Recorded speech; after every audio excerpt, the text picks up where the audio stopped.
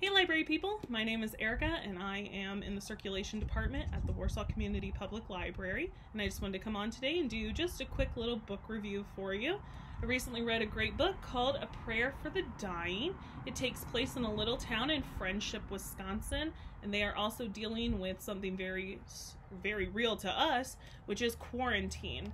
It was a very surreal book to read considering this is fiction and it's supposed to just show the insanity that can happen when an outbreak occurs in a town.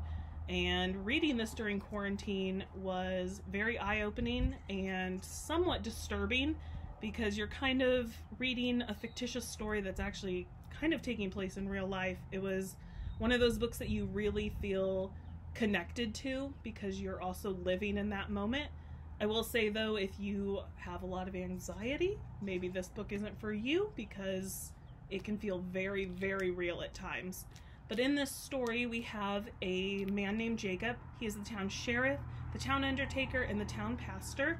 And because of all of his professions, he gets to be a part of everyone's lives. So he starts seeing the outbreak when it first happens. And he and the town doctor have to make that really hard decision of are we going to let people go about their everyday lives so we don't scare them? Or do we have to start quarantining people to make sure that this infection doesn't spread? Um, the story gets very crazy. It gets it's a roller coaster from start to finish. But if you really enjoy books like this, if you really want to read a book about quarantine during your time in quarantine, I would say this one is for you. If you think this one is a little too close to home, but you still kind of want to be in that almost dystopian mindset, there are some other great books that you can find on our e reader sources, such as Overdrive or Hoopla. You can read the Road by Cormac McCarthy. This actually won a Pulitzer. It's a fantastic dystopian novel about what happens when the world kind of collapses.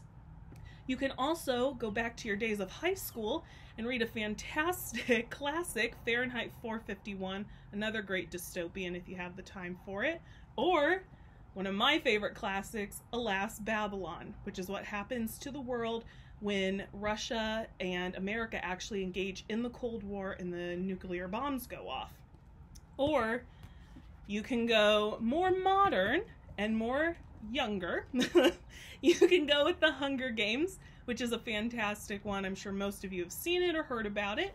There's another young adult book, Divergent, fantastic if you like that sort of world, or even dive into the Mortal Instruments inside the City of Bones all great reads, everything that you can find through our website, through Hoopla or Overdrive or um, RB Digital, all fantastic ones that you can do. There are thousands of books that you can read on there, and so please be safe and enjoy your time reading.